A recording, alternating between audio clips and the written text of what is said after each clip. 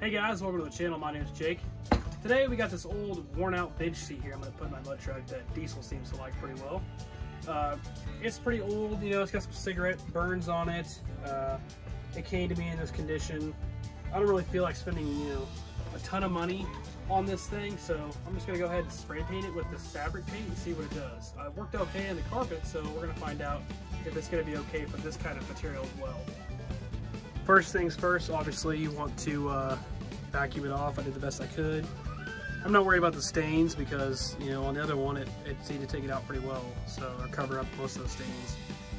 So it does come in different colors. I'm choosing blue. The blue seems to cover pretty well and hide a lot of things, so we're gonna go ahead and get started. It took about one and a half to two cans to do the carpet, so I'm assuming it's probably gonna be similar for the bench seat to cover it completely. Watch out, buddy.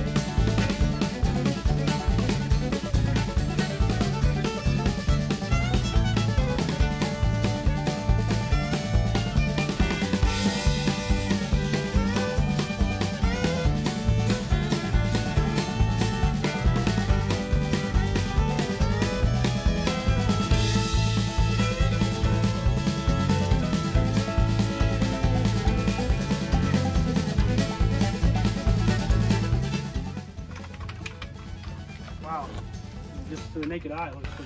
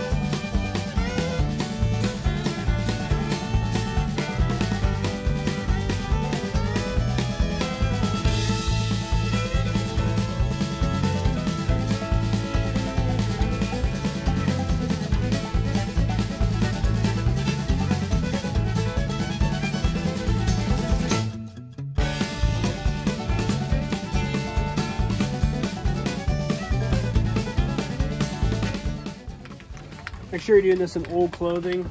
I gotta rip my jeans. I promise you nothing's gonna pop out, you know, not that desperate for subscribers. but uh, yeah, it's, it's pretty messy. It's getting everywhere. It's all over my hands. You know, this, this paint's kind of different. Uh, you know, it's supposed to be outdoor fabric, so it's kind of coming out in like clumps. I don't know if it's part of a dye or something, um, but it is pretty messy.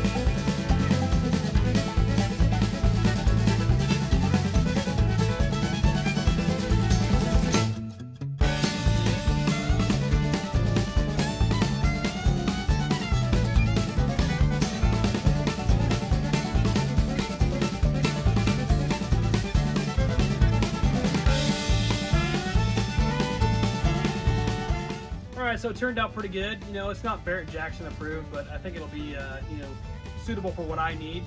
Uh, it definitely kind of has that kind of starchy feeling to, or scratchy feeling, but it's not. watch out, people! It's not, uh, you know, it's not horrible, but it, it'll pass for cruising and stuff like that. So, if this video helped you out, please hit the thumbs up and don't forget to subscribe. Thank you.